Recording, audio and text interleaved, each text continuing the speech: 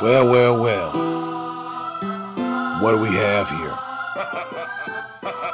Federally recognized tribes should brace for possible termination policy under Trump.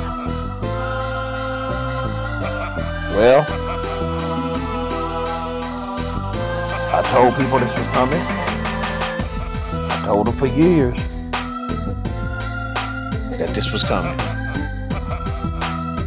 Whether people wanted to listen or not, it's on them, it ain't on me. Telling people this, man, back in 2009, 2010, that when the United States begins to tighten its belt,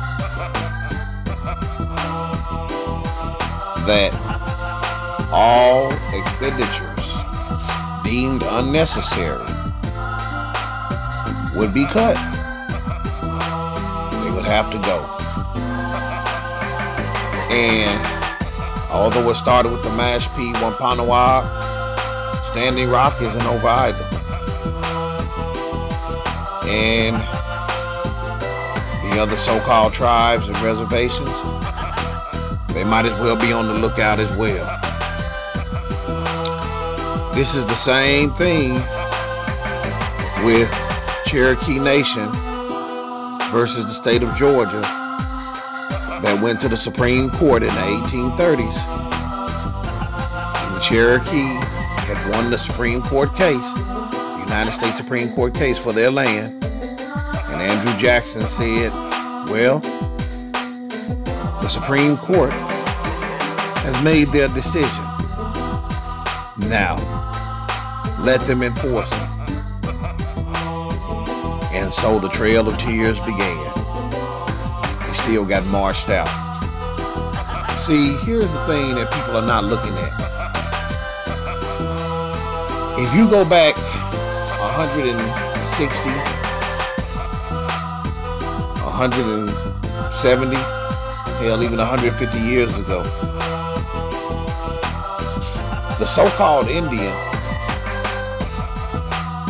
were very, very, very heavily melanated. And they became subsumed under the laws of Jim Crow, the damage that Walter Plecker done the Racial Integrity Act of 1924, and our ancestors, they lost their rights to this soil. Not only did they lose the rights to the soil, actually it was taken from them. But you have to understand that they're doing all this thing by way of trust law. And because they're doing this thing by way of trust law, you have to understand that these people on these reservations, who for the most part look European or they look mulatto, they do not look like the original peoples of the lands like us between 150 and 170 years ago. Not only was the Racial Integrity Act Jim Crow damaging, but I honestly believe that there was some form of campaign that was used globally, and I've talked about this with several people. If you go to China, the original people of Manchu, Manchuria, they're dark skinned. They, the ones today, do not look like the original so-called Chinese.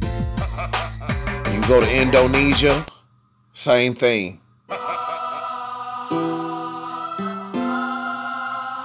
You go to uh, Southeast Asia, same thing. I'm thinking that there was some type of global campaign to eliminate the dark skinned, melanated aboriginals of the land around the globe.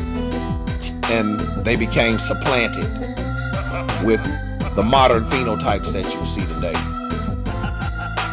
One thing about it, karma, the divine law of retribution, will always swing the pendulum back to the direction from whence it came. So this is very interesting. Take a look at this. Federally recognized tribes should brace for possible termination policy under Trump. Whether we like it or not, Saglutu Pia Gatak, compulsive liar, and Enopiatu, now President of the United States, and Republicans control Congress. Federally recognized Alaska Native and American Indian tribes should brace for the worst, including the possibility that Congress may move to terminate federally recognized tribes. The termination era of 1953 to 1968 involved Congress stripping tribes of their lands and criminal jurisdiction. The policy was thinly disguised as an attempt to lift American Indians and Alaska Natives out of poverty by assimilating them into mainstream society. However, the real goal was to privatize and ransack American Indian and Alaska Native lands. From the American Indian Relief Council, from 1953 to 1964, 109 tribes were terminated, federal responsibility and jurisdiction was turned over to the state. Governments approximately 2,500,000 acres of trust land was removed from protected status.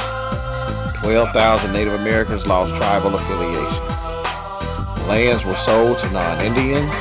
Tribes lost official recognition by the U.S. government. Public Law 280, which was passed in 1953, turned power over to state governments to enforce most of the regular criminal laws on reservations as they were doing in other parts of the state. Saglutu Piagatak's administration, however you pronounce that word, excuse me, I'm quite sure I'm probably butchering it. Administration apparently began mobilizing to pursue the privatization of Indian lands early as October 2016 with the formation of his 27-member Native American Affairs Coalition The coalition is chaired by Cherokee Pretendian Representative Mark Wayne Mullin. Like the termination policy of more than 60 years ago, the coalition contends that impoverished tribes are saddled by federal regulations that stymie self-reliance and prosperity. Tribal land should be privatized, it argues, so that American Indians can pursue development projects that lift them out of poverty. Saglutu Piagatax has tapped Montana Representative Ryan Zinke for Secretary of the Interior. A federal agency overseeing the Bureau of Indian Affairs. Zinke is known as Zinke is a known fraudster with little integrity. Scientific American characterizes Zinke as a mixed bag with an anti-environment, pro-industry voting record.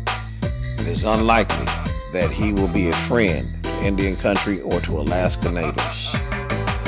Some estimate that American Indian lands held in trust by the federal government hold as much as one-fifth of the nation's oil and gas, along with significant coal reserves. Saglutu Piagatak released his America First Energy Plan hours after being sworn into office. States the following Sound energy policy begins with the recognition that we have vast untapped domestic energy reserves right here in America. The Trump administration will embrace the shale oil and gas revolution to bring jobs and prosperity to millions of Americans. We must take advantage of the estimated 50 trillion in untapped shale oil and natural gas reserves, especially those on federal lands that the American people own.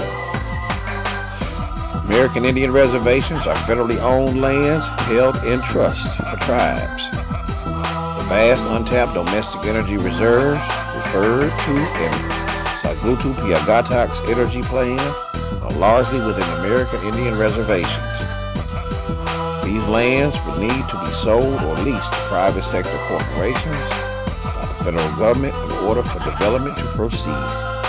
But first, Tribal jurisdiction over those lands would need to be terminated by Congress and vested in states. Termination era from 1953 to 1968 shows us that tribal lands and thus tribal governments, peoples, and cultures remain vulnerable to the whims of Congress.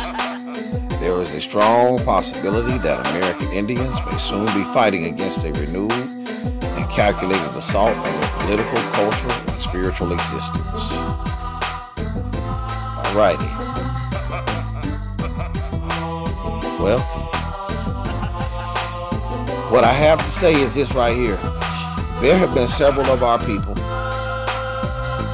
have traced their lineages to these various tribes, have gone to these tribes, shown the lineage, and because they do not match the current phenotype that is being displayed today, they have been denied tribal status, tribal citizenship. The original, the original is denied by the mulatto and the imposter, $5 Indian. So, this is just the first of series of many more cuts to come for these tribes, as well as Social Security. Social Security is on the chopping block. Uh, food stamps, any type of federal program that people are used to receiving or participating in, you can best believe your bottom dollar, it is going to get chopped. Even if you have your money or excuse me, your currency, because banks don't hold money. Money is gold and silver. Your currency in these so-called FDIC institutions. FDIC is 700 trillion dollars in debt with derivative liabilities. There is no way in the hell that they can insure your currency if this system collapses, you will be the last to receive anything. Please believe it. What this is going to boil back down to, like I've been telling people, going to boil back down to the original landmarks of the land, who put them there, the epigraphical evidence, as well as the genetic phenotypical morphological evidence of the original people. Just like Alabama Senator Scott Beason told you who the people of Alabama were that were misnomer as Negro, Black, African American, and colored. He told you they're Aborigines. They are not Indians. Indians is a federal term. Have your way with it. Look it up. I've been telling you people this for the longest. Now it's knocking on your doorstep with Trump. So, one thing I can tell you is, people, y'all better figure it out. Because as things get tighter and tighter in the global economy, the United States is going to be figure out, is going to be figuring it out, or trying to figure it out, how it can do a majority of things that it needs on its own. It is going to do what's called a do for self policy. They are going to that. The same thing the Honorable Elijah Muhammad of the Nation of Islam was saying back in the 50s and the 60s do for self. Now the United States is applying that. They're going to go with what's called do for self.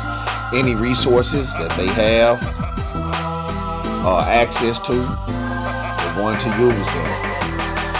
The only way we are coming up out of this is if the Paleo American, Autochthonous, Aborigine, Moor, and Pre-Columbian Moor stand up, claim our landmarks, demonstrate who we are, morphologically, genetically, genealogical wise, whole nine, the history of the land, all of that stuff comes into play in a unified front.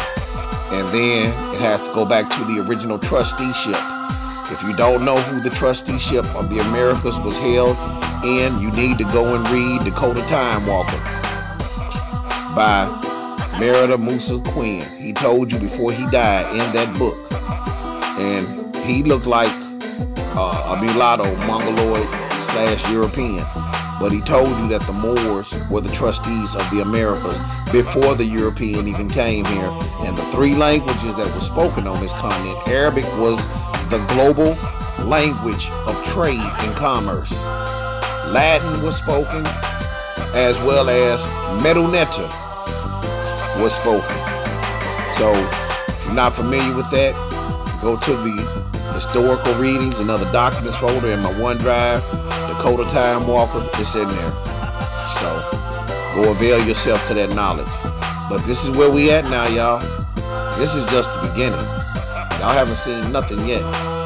You know, it's gonna be a lot of cuts across the board on some of everything. So I hope y'all can keep up. I hope you're prepared. Get ready and stay ready. So that way you won't have to get ready you're already ready. So y'all take a look at this, man. Think about what I'm saying. That's all I have to say.